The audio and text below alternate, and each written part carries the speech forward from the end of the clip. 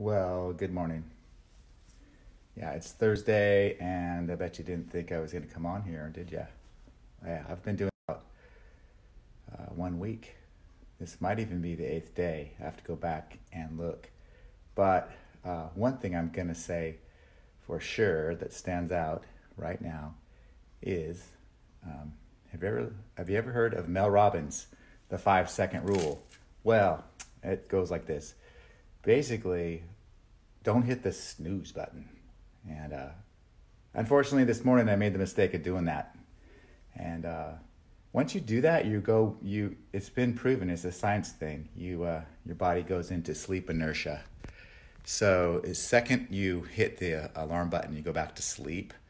You go into a new sleep cycle. And so then when you actually do get up, you're not rested. Yeah, so epic fail this morning. I've been doing really good with that. Uh, but uh, uh, thing is, um, if uh, if you want to be, want to have a really good, alert, um, rested kind of feeling, even if you've only had four hours of sleep, if you get right up, it's a lot better than um, if you don't. So that's what happened to me today. And um, other than that, I'm stinky.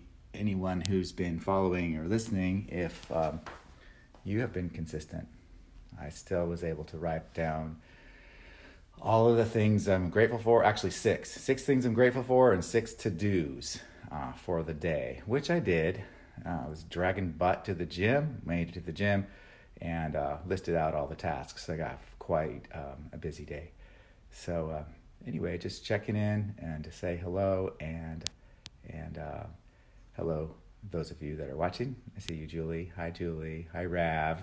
And uh, yeah, this is really weird, but I don't care.